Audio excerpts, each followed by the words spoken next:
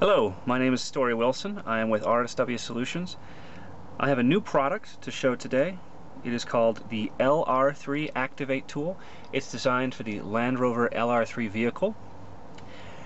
Its specific job is to interact with the LR3 air suspension computer, read and clear the fault codes. Here is the device. It's similar form factor to my other devices uh, and similar in functionality where it plugs into the OBD2 port on the vehicle. It automatically establishes communication with the air suspension computer. Then it will read and clear the fault codes automatically. Then you unplug the device take it over to your uh, Windows PC or Macintosh and plug in the USB port. And turns into a USB flash drive. And on this USB flash drive is a text file containing all of the fault codes that were read from the vehicle. So let's go ahead and show you real quickly how it operates. Let's start the engine of the vehicle.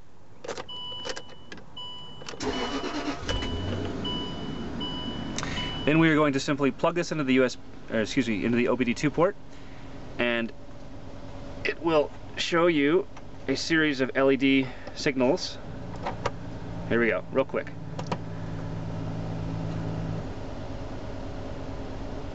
And that's it. It's done. That slow blinking green means it's done. In case you missed it, we'll do it one more time. Unplug, plug it back, plug it back in. You'll see a red-blue alternating, meaning communication. And then a slow blinking green. It's all done. The air suspension fault codes have been cleared and reset. And now we simply take it inside and look at the fault codes that are on the text file. So the next function of the LR3 Activate tool is when it interacts with the USB port on a Windows PC or Mac PC. And this is how you would read the fault codes off the device. Um, you take a USB uh, Type A to Mini Type B, very common USB plug, and you simply insert it into the LR3 Activate device. There's a different LED sequence.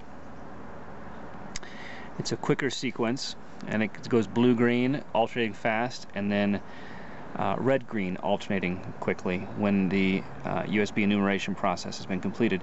Then we simply go over to our PC and open up the text file that has the fault codes on it.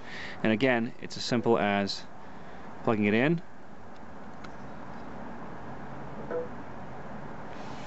and then sitting down and looking at the fault codes.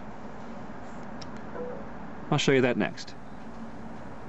Alright, so here we are on our Windows desktop, and we're going to plug in the LR3 Activate tool to the USB port just as we did a second ago, and we're going to see what happens. Alright, we get the Windows enumeration sound for the USB port, and we have the autoplay that pops up on flash drives.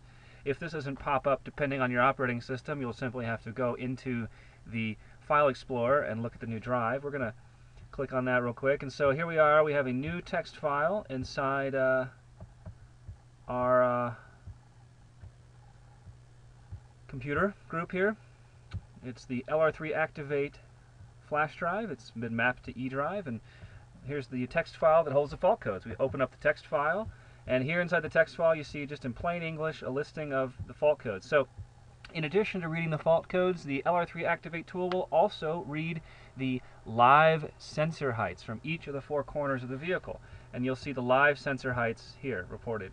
And then below that, you'll see the fault codes. In this case, I don't have any fault codes because my vehicle is in perfect working order. But if you had fault codes, they'd be listed there. The LR3 Activate tool also stores the three uh, sets of fault codes that have been read from this vehicle so down here, there are two sets of previous fault codes that are read and read from the vehicle, and here is the current set of fault codes that have just been read from the vehicle from this most, most recent communication session. The next time you read a set of fault codes, these fault codes that are highlighted here will be bumped down to the second position. And when you read the fault codes another time, this the fault code stored in the second position will be bumped down to the third, and so forth. So you have a running history of every time you uh, use the LR3 Activate device for the past three times. And that's how the device works. Hopefully it'll be useful to you. Again, uh, my name is Story Wilson with RSW Solutions. I am the owner, designer, and manufacturer of all of these tools.